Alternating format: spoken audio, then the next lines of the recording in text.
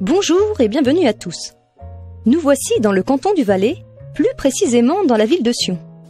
Vous êtes ici aujourd'hui au Centre pédagogique de prévention séisme pour approfondir vos connaissances sur les tremblements de terre.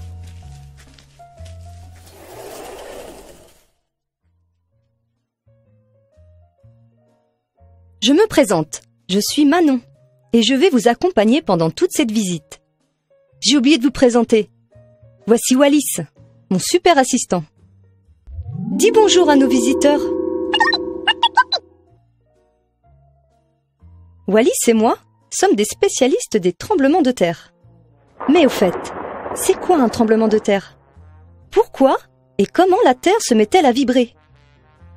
Alors, avant de tester notre simulateur, je vous propose de revoir ensemble quelques notions importantes.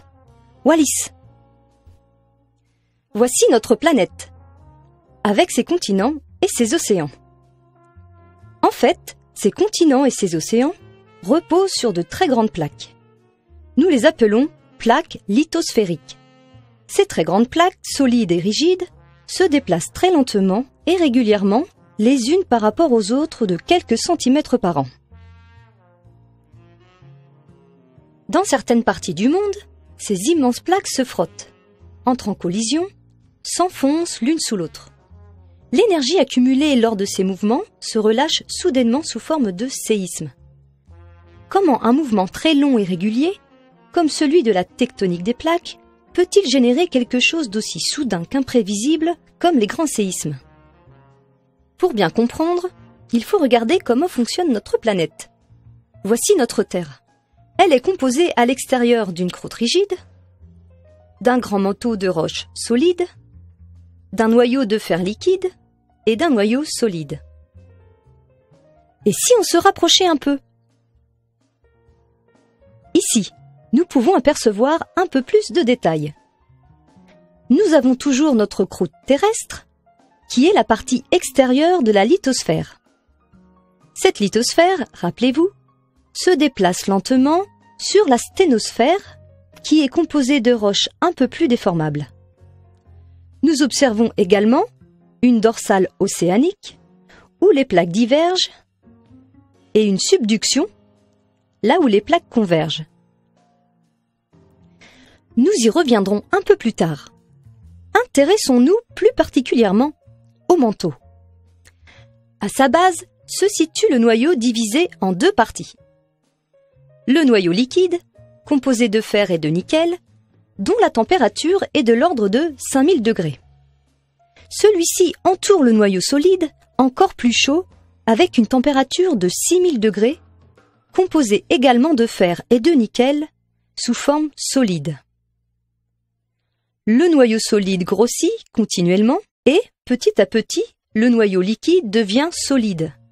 Cette réaction produit beaucoup de chaleur et cette chaleur se diffuse dans les roches du manteau. Le manteau est composé de roches variées dont la plupart sont radioactives. Ces roches produisent également de la chaleur qui réchauffe le manteau. Les roches bien chaudes sont moins denses. Elles vont donc monter vers la surface au niveau des dorsales. Elles forment petit à petit la lithosphère océanique qui, tel un tapis roulant, s'éloigne de la dorsale et se déplace le long de la surface vers la zone des continents. Au cours de ce trajet, la lithosphère océanique se refroidit s'épaissit et devient plus dense. Cette plaque océanique rencontre la plaque continentale dans une zone nommée zone de subduction. D'une densité plus grande que la lithosphère continentale, la lithosphère océanique plonge sous les continents entraînée par son propre poids. Plus elle s'enfonce dans le manteau, plus elle se réchauffe de grands mouvements apparaissent dans le manteau, amenant sans cesse les roches chaudes vers la surface de la Terre et les roches froides vers l'intérieur de la Terre. Ce sont les mouvements de convection moteur de la tectonique des plaques. Mais regardons de plus près ce qui se passe au niveau de la zone de subduction. Ici, la plaque océanique plonge sous la plaque continentale. Le problème, c'est que la croûte terrestre est élastique et cassante elle n'est pas du tout visqueuse et donc son mouvement coince au niveau du contact entre les deux plaques. Dans cette zone de convergence, le mouvement des plaques est extrêmement régulier, de l'ordre de quelques centimètres par an. Nous nous trouvons donc dans une zone de compression permanente. Cette compression augmente de jour en jour et d'année en année. Mais alors, pourquoi les plaques ne glissent-elles pas aussi facilement? Si on regarde de plus près, les blocs et B, qui représentent les deux plaques, sont en contact sur la surface rugueuse et irrégulière de la faille. La faille est coincée par toutes les aspérités, son mouvement est nul. L'énergie s'accumule continuellement le long de la faille. Soudain, la limite de résistance des roches est atteinte. Il y a rupture et déplacement. Les deux blocs A et B glissent le long de la surface de la faille. C'est le séisme. Mais la zone de subduction n'est pas le seul endroit où les plaques bougent les unes par rapport aux autres. Il existe des zones de compression où les failles inverses permettent aux plaques de converger les unes par rapport aux autres, comme pour la formation des Alpes. Regardez les blocs A et B qui se rapprochent continuellement de part et d'autre de la faille. Tout à coup, la faille se met à glisser, entraînant le bloc B vers le haut et le bloc A vers le bas. C'est le séisme. Ce même processus se répète au cours du temps et après plusieurs séismes se créent une montagne et des vallées.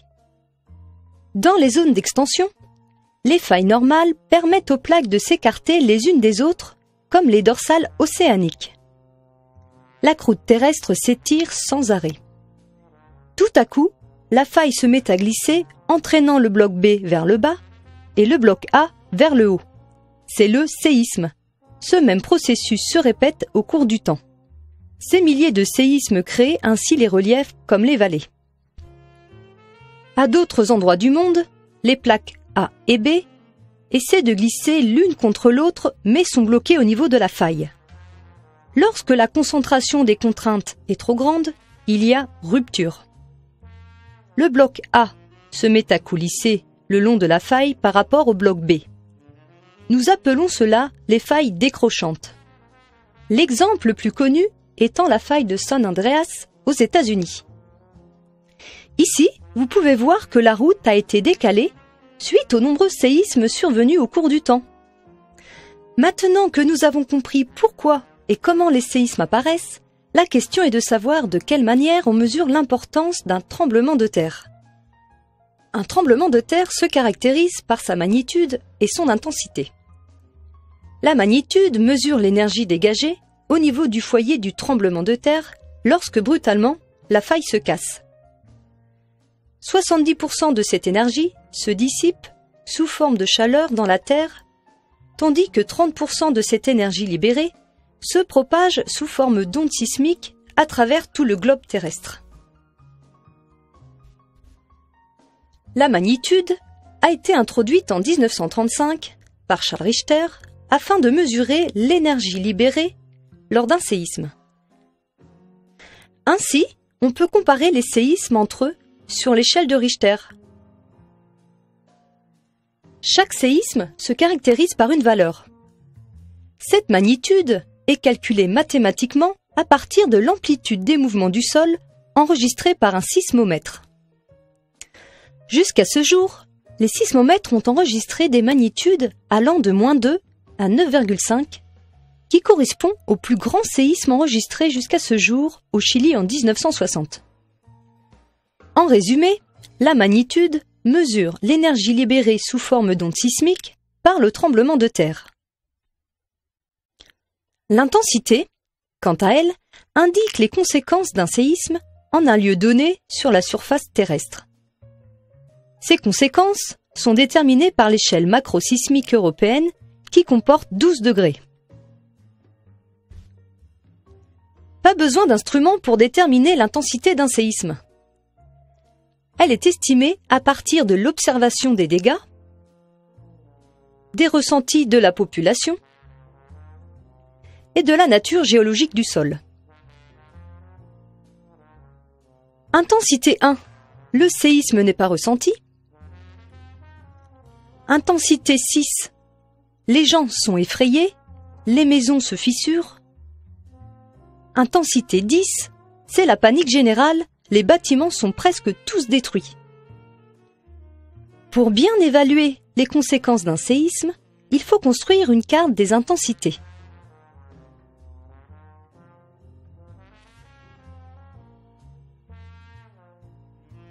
Au final, ce qu'il faut bien retenir.